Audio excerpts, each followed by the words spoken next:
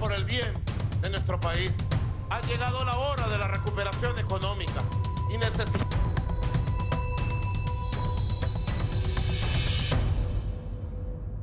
Vamos por la derecha.